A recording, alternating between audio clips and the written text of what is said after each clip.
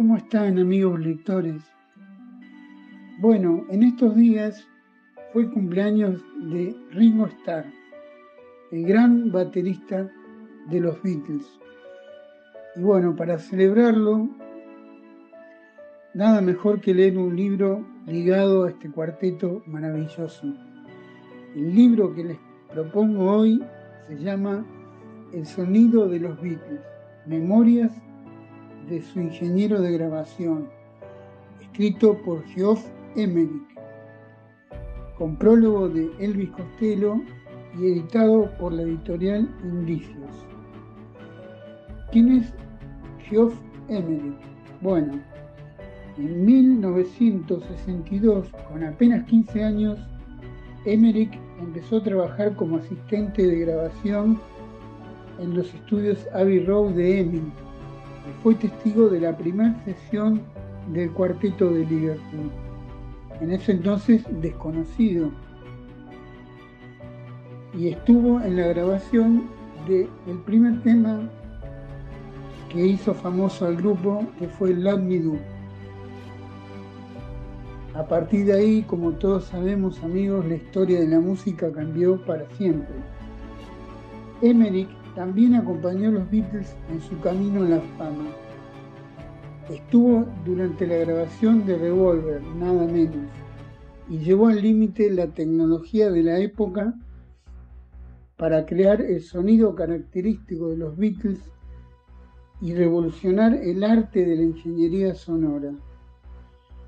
Un año más tarde, y no por nada, lo, convocaron para otro álbum, el Sgt. Pepper. Imagínense la experiencia de este hombre, ¿no? Y es lindo porque en el libro lo cuenta con lujo de detalles. Es un libro para los que gustan de la música y obviamente especialmente a los que son fanáticos de los Beatles.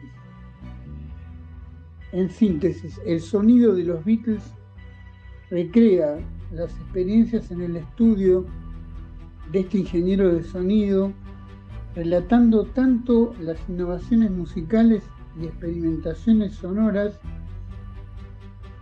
como también los, los conflictos que transcurrían entre bambalinas, entre los Beatles. Con una mirada nostálgica y personal,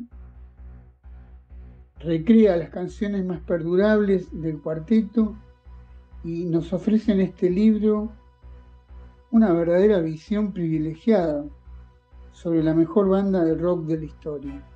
Es un libro encantador, amigos, no tengo otra palabra. Y bueno, como les digo, los fanáticos de los Beatles se lo van a devorar. Les repito, el sonido de los Beatles, memorias de su ingeniero de grabación, escrito por Geoff Emerick y editado por la editorial Indicios, con prólogo de otro gran músico, Elvis Costello. Muy recomendable. Amigos, esta columna pertenece a la cultura del payaso.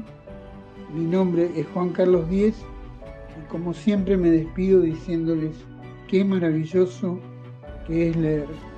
Hasta el próximo libro.